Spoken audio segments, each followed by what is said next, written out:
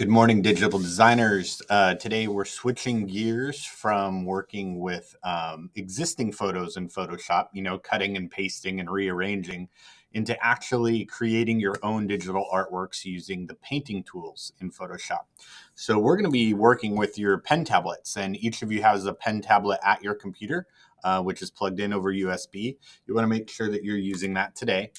Uh, you're also going to want to choose one of our three practice images that's here on Classroom, the apple, the avocado, or the donut. I'm going to start with the apple for mine, but feel free to pick any other image you want from there. Remember, all you have to do is right click it, go to the three dots, open, and then from there you can download the image to your computer. Now I've done this already, so I'm going to go ahead and switch over to Photoshop. And uh, we're going to set up a canvas for ourselves to try practicing with this tool.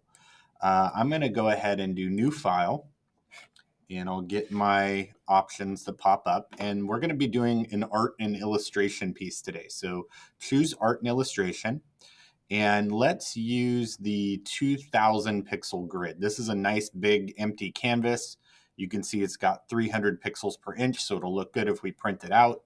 Uh, and over here on the side, I'm going to go ahead and give it a name with my name and digital painting. Okay. Now, once you create that canvas, you'll have a big open screen you can use for print uh, painting. I've also moved my toolbar and my layers over here so that I can reach them really easily as I'm going through. I want to open up that uh, beginning photo that I downloaded and add it to my canvas here. So I'm going to do File, Open, uh, go to my desktop folder where I added this image, and open up the apple. And what I'm going to do is actually drag this image over onto my canvas and just kind of set it off to the side for a second. Okay, let's actually let's put it right down here. Um, okay, so when you're digital painting in Photoshop, it's really important that you organize your layers. And we're going to be creating basically four layers here. We're going to do one layer that has the line art for whatever it is we're painting. We're going to have one layer that has just the flat colors, the reds, the greens, the browns. And then we're going to have two layers, one for shadows and one for highlights. Okay. So this is my reference image at the top. Uh, and I'm going to go ahead and make those other layers for myself. Let's add a layer here. And we're going to rename it line art. Okay. And this is going to be the easiest step of the process. This is where we just kind of want to outline the object that we're painting and get some of the basic structures in place. So I'll take uh, black and my brush tool. Okay, remember brush tool is letter B on your keyboard. And once you select the brush tool, all of your options for that brush show up here at the top of the screen. Okay. Um, normally, when we're use, when we've used the brush so far, we've just been using like um, either a soft, fluffy brush or a hard edge brush. You know, when you guys have been making masks and that sort of thing. But I want you to notice that in your brushes, you actually have categories of different brushes you can use. There's dry media, which is like pencils and charcoal and things that have kind of a gritty edge to it. There's wet media, which has watercolor brushes and oil paints and things like that. And then there's special effects brushes. These are ones that will create like splatter paint effects and um, and so on. You can see some of the options you have in there. Um, there are thousands more brushes, but I'm going to hold that till our next lesson because I don't want to overwhelm you with brushes right off the bat. So what I'm going to do is choose from my dry brushes set and I want to use just the pencil tool here. So I'm going to take the pencil. Right now it's only eight pixels, so it's going to be real small.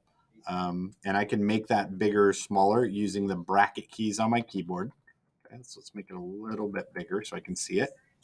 The other thing I want to pay attention to here at the top is this option that says smoothing. Smoothing makes it so that as you're drawing, even if your hand shakes a little bit, it won't show up. It's actually going to smooth those lines out for you. So I'm going to turn the smoothing up to about 50%. Okay, that should be good. I'll zoom in, move my apple onto the main screen here. And all I'm going to do on this line art layer is block out the shape of my apple. It's a little bit too big of a brush. Let's make that a little bit smaller. Okay. So I'm just going to use my pen tablet and block out the basic shape of this apple like this. Okay. Now, if you aren't perfect, no worries. This is art. It doesn't need to be perfect. Um, sometimes it looks really cool to have a little bit of variation in your drawing. But what I'm going to do is just put in the basic forms here. Let's block out this leaf. Uh, I got the little curve on the apple here. I know that there's a shadow down there, but I don't need to trace that. I just need the shape of the apple. Okay. Um, and maybe what I'll do is just put a little indication here where that center line is. Okay, I'm happy with that. Cool. So my line art is in place. And if I hide the apple layer, you can see that I've got my basic outline. Okay. Now I'm going to start painting this apple, but I want to use the uh, colors from the photo. So watch what I'm going to do here. I'll go down to my apple layer. I'm going to just move this off to the side. And I'm going to turn this from being flat colors to pixels. So I can grab some of these colors to use in my painting. Okay. Um, so I think what I'll do, let me drag this little apple over here. I'm going to have two copies. And on this apple, if you need to see how to do a copy, just right click it and duplicate it, right? We're going to take this copy one and I'm going to go up to filter, pixelate, and mosaic. Okay. And what this is going to do is as I turn this slider up, it's going to really heavily pixelate that image. Um, and I want to just push it. I'm going to go pretty big here because I only need some swatches that I can pull colors from, like dark red, light red, green, a little bit of brown in there take this down just a little bit. That looks pretty good. Okay. So this is where I'm going to pull my colors from. And this is how I'm going to paint it. You with me? All right, let's try to go a little bit farther here.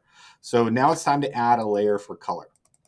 I'm going to add this new layer, call it colors. I'm going to grab my paintbrush. And I think for painting, I'm going to switch from my dry media to one of my wet brushes here. Let's go to this thick and thin one.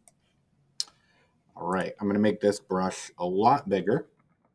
And you may not know this, but you can actually sample colors with your brush. The way that you do it is if you hold down Alt, your paintbrush turns into a little eyedropper and you can put that eyedropper over the color that you want to sample from. So I'm going to pick this kind of like medium red here. And when you click, it picks up that color. Okay. So first thing I'm going to do is go ahead and use this big brush to block in the basic red of the apple. I'll grab the green here, make my brush a little bit smaller, zoom in a bit and I'll block in the greens here at the top. And then the other color that's in here is that kind of brownish of the stem. I'm gonna make my brush a lot smaller. That shape in, okay? All right. Now, uh, let's start to layer up some of these other colors that are in here. So we know that the apple has this kind of shadow side right here. If you squint your eyes, you can see it really well. So I'm going to grab some of that darker red now and make my brush big again. And I just want to kind of eyeball where I see that dark spot on the apple. It kind of goes like right there. And then there's a little bit that comes over this way. All right, that looks pretty good. I've got a, a little bit of a dark area up here, so let's grab some of that red and we'll just push a little blur right here. Actually, the more colors that you sample, the more depth that your painting is going to have. So feel free to get kind of wild with this. As you squint your eyes and you look at the design, just really loosely start blocking out these colors, okay? Um, I'm going to put some of this in. I see that there's some color down here on the low side of the apple. Let's put that in. Um, We've got some really bright reds right in there. Let's grab some of this like pinky red and we'll just push that around the edge. There's a little bit, it's surprisingly, of some yellows and oranges up here. So I'm going to just toss that in. Don't get too worried about how it looks right now. At this point, we are simply blocking in color. Okay. We do have some really light pinks and whites where the apple is reflecting some light here. So I'm going to push this and I'm just going to block in pink. Okay. Um, and then over here, we've got a little bit of white. Let's take brush and we'll just block out. Oops, a little bit too much. Remember, you can do Control Z if you go off too much. Uh, don't feel bad about that. Just Control Z it and go back a step. Uh, make my brush real small. I see that there's this reflection on the top of the apple. So let's push a little bit of that out there. And I see a little bit over on this side and a little bit right here. Okay. Um, some darker greens up on my leaf because part of the leaf was in shadow. So I'm going to paint that in. Just a little bit of dark. Okay. And, you know, feel free to add as much detail or color as you want to this. I'm just kind of stacking mine up for a second. Cool. All right, so I've got my basic uh, parts of the apple blocked in, and luckily they're all on the same layer here. That's really important that when we first do blocking, we want all of that color to be on one layer. It's gonna make it easier for us, okay? Now, um, we can use one of our other brushes to kind of blend these areas a bit better. I'm going to switch from my paint regular paintbrush. And if I look in my wet media brushes, you see that there's some in here called blenders. Okay, this is the wet blender. Um, and what this brush does is it lets you smudge two colors together. So if I take this brush and I just click, click, click, click, click, click, click, right around the areas where two colors are touching. Okay, I'm going to go right up to the edge here and I'm going to smudge and smudge and smudge. I'm going to smudge this area right here. Real quick little clicks and brush strokes. Okay. And if you need to, you can keep switching your brush up bigger using your bracket keys. Push this one around here. And you can see what I'm doing uh, is blending all of these blocky colors that I first created into some of the lighter colors here so it doesn't look so hard edged. Okay, we'll do a little bit up here with the greens. All right, now it's already getting quite a painterly effect. Okay, let's push these around a little bit more. Don't go too overboard with it, but you know, you'll get the hang of it as you go here about how far you want to smudge it.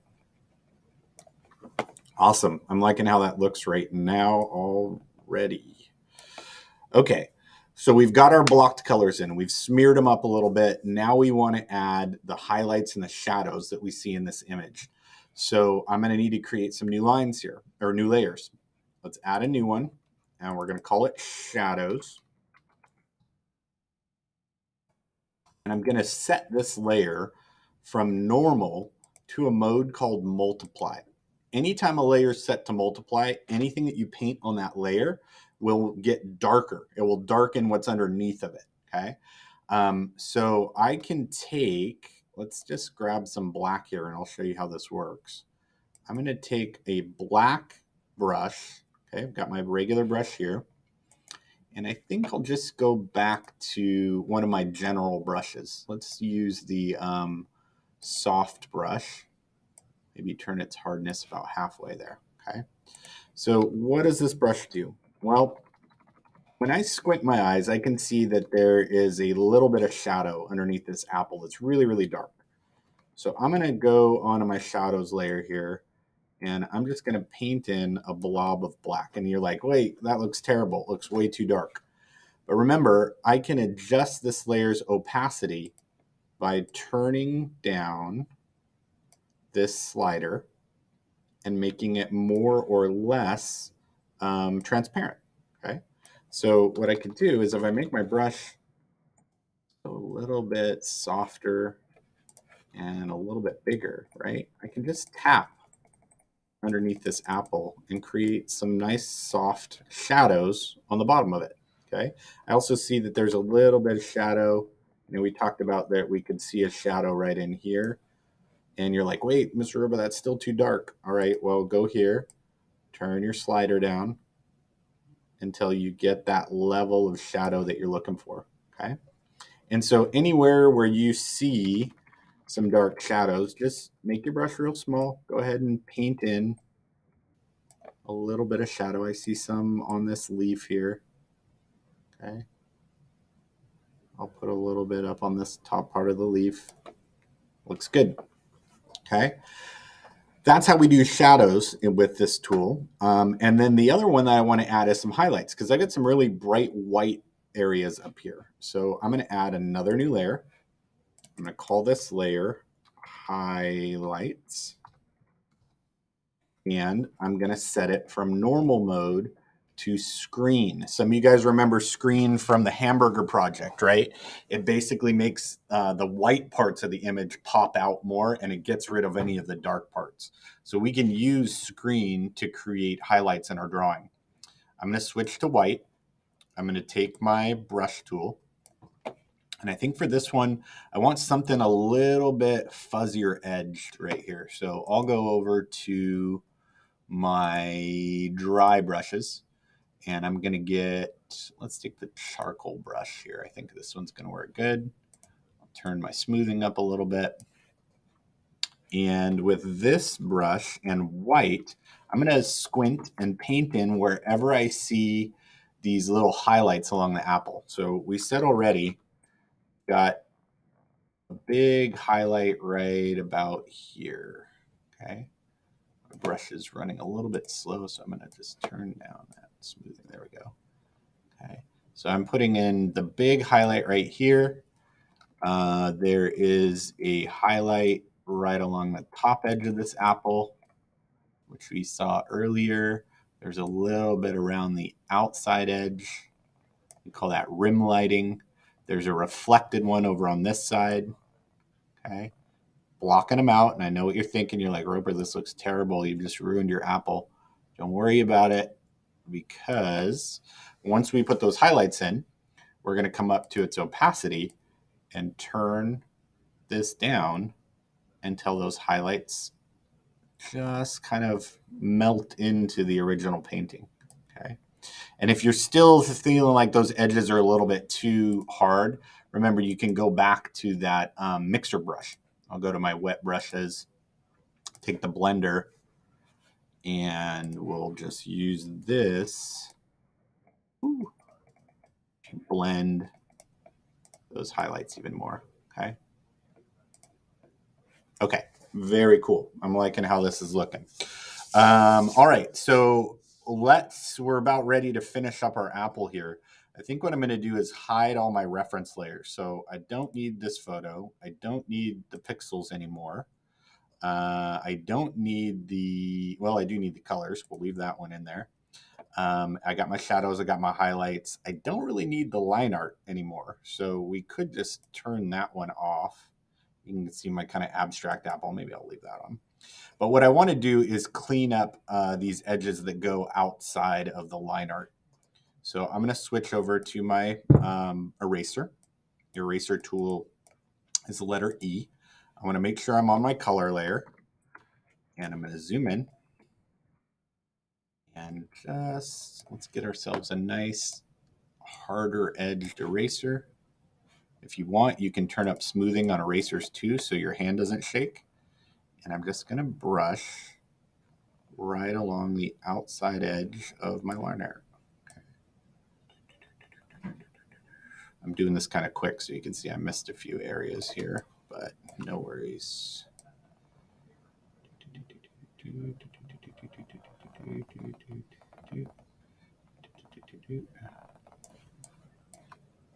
Okay, we'll make this a little bit smaller. We're going to kick it up this way. It's a little bit smaller and go right through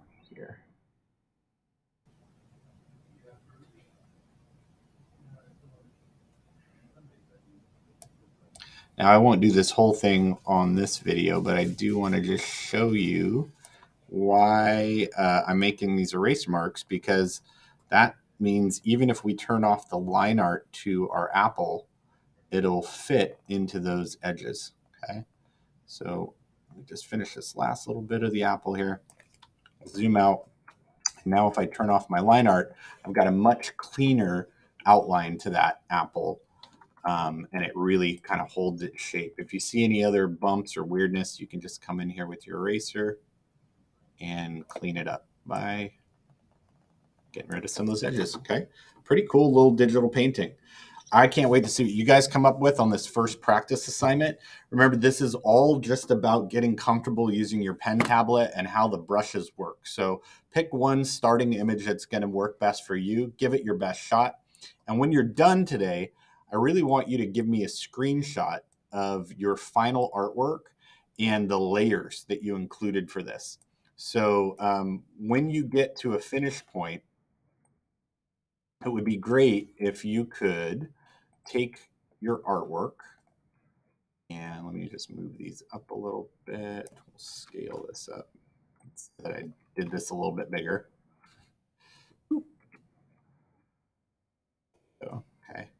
Let's say this is my final painting, um, use your snipping tool to just capture what you created and how you did it with your layers over here. So I'm going to go down to my start menu, type in the word snip, grab the snipping tool, and take a screenshot of both my artwork and my layers. Okay. So that'll snap a little picture of it and you can then go ahead and save this to your digital design. So I'll call this Roper uh, Digital Painting and save it as JPEG. Okay, this will be a great addition to your learning journal and kind of show you how you organized your layers so that you can use that on future projects. All right, guys, that's enough for me today. Have fun with this project, and I'll be around to help out as we go.